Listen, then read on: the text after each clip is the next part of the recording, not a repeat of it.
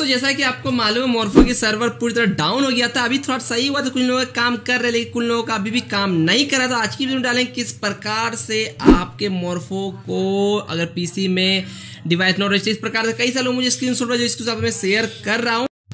ये पीएनबी काय O S है जिसमें पीएनबी की अकाउंट ओपनिंग किया जाता है। यहाँ पे फिर एक ने भेजा है, उसका भी ये रजिस्टर फेल आ रहा है। कई सारे लोगों ने मुझे फ़ोटो शेयर किए जिनको ये इशू आ रहा है देखने के लिए। तो कुछ लोगों का फिक्स हो गया, लेकिन जिनका फिक्स नहीं हो, वो क्या करेंगे चलिए इस वीडियो हम समझने वाले हैं। सबसे पहले आपको पहले जो इंस्टॉल ड्राइवर है, ये फ़र्स्ट स्टेप मैं स्टेप बाय स्टेप इसलिए बोल रहा हूँ ना, बहुत लोग स्मार्ट होते हैं, कुछ स्टेप छोड़ देते हैं, और बाद में आगे कमेंट बोलते भैया, मेरा काम नहीं कर रहा, देखो मैं सब कुछ कर लिया फिर भी काम नहीं कर रहा है।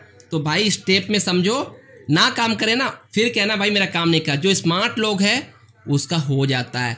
पहला स्टेप हम जो इंस्टॉल ड्राइवर है, पहले स्टोर से अनइंस्टॉल कर लेंगे।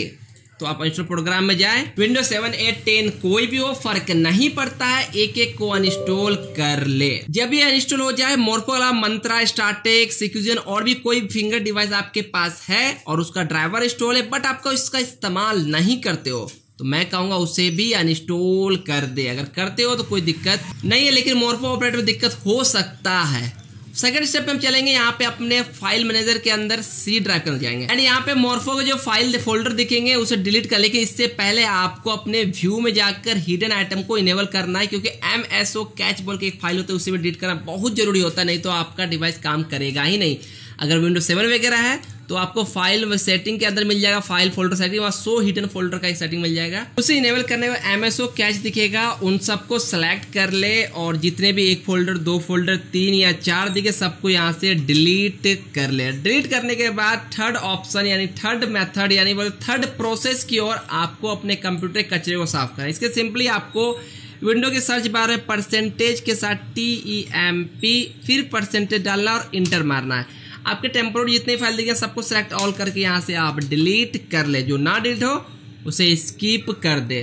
फोर्थ ऑप्शन आपको कंप्यूटर के डेट एंड टाइम को मिलाना है जो आपके पीसी में डेट टाइम हो सेम डेट एंड टाइम आपके मोबाइल में होनी चाहिए। उसके लिए आप राइट क्लिक अपना डेट टाइम क्लिक करेंगे एडजस्ट डेट एंड टाइम पे जाएँगे और यहाँ पे ये नोट कर ले टाइम जोन जो चेन्नई, कोलकाता, मुंबई न्यू दिल्ली होनी चाहिए। एंड यहाँ पे आप साइकिलिंग इसे ज़रूर कर ले। अगर विंडो सेवन वगैरह है तो date and time region format click करें। Additional date and time region setting पे जाए सेट डेट एंड टाइम पे जाए, आपके साथ छोटा विंडो खुलेगा, यहाँ पे चेंज जोन कर ले, जो चेन्नई कोलकाता मुंबई दिल्ली होनी चाहिए, और इंटरनेट टाइम जोन के अंदर जाकर इसे अपडेट कर ले।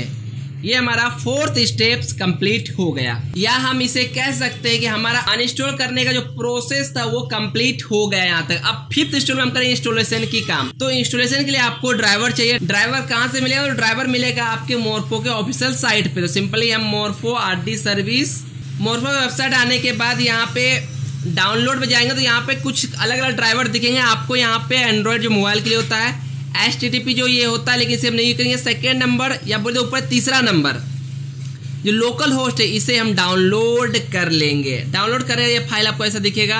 एंड अगर ये फ़ाइल आपको ऐसा बुक के तरह नहीं दिखता तो आपको विन रन नाम से एप्लीकेशन होगी आपके पीसी में नहीं होगी, उसे ज़रूर आप इंस्टॉल कर ले तो आपको ऐसा दिख रहा है। इसे राइट क्लिक करके एक्सट्रैक्ट हेयर कर ले। टेक्सचर करेगा आपको ये फोल्डर आ जाएगा यहाँ पे आपको सॉफ्टवेयर और टेस्ट पेज दोनों दिखेगा, आप सॉफ्टवेयर राइट क्लिक करके इसे रन एज एडमिनिस्टर करके यहाँ पे इंस्टॉल कर लेंगे। इंस्टॉल होने में आपको जो टाइम लग जाए, वो ले सकता है। इस प्रोसेस के बीच में आपके डिवाइस कंप्यूटर के साथ लगी हो, कोई फ़र्क नहीं पड़ता। नहीं भी हो तो भी कोई फ़र्क नहीं पड़ता है।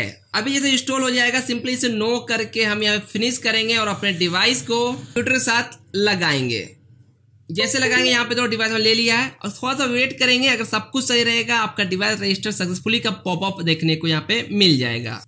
तो यहाँ देख सकते हैं पॉपअप आ गया डिवाइस रजिस्टर सक्सेसफुली और जो टेस्ट करके स्टार्ट करेंगे, यहाँ पे आपकी लाइट बिलिंग कर जाएगी थम रखोगे, आपका ये इजिली ले ले। बाकी कई सारे भाई लोग का अब क्या होता है, कुछ पोर्टल काम करता है कुछ पे काम नहीं करता, उसके लिए क्या करें? तो सिंपली आपको कंप्यूटर ओपन करना है, उसके सी ड्राइव के अंदर जाना है मोरपो एल ज़ीरो सॉफ्ट करके दूसरा फ़ाइल बड़ा सा लिखा है, उस पर जाना है और यहाँ पे कॉन्फ़िगर डॉट सेटिंग आई नाई पे क्लिक करना है।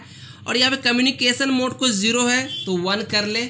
उसके बाद कंट्रोल एस या फ़ाइल में जाकर सेव कर ले। अगर वन है तो ज़ीरो कर ले। उसके बाद आपको सर्च करना है S E R B I C dot M S C S E R भी लिखो सर्विसेज़ दिखे इसे इंटर करके।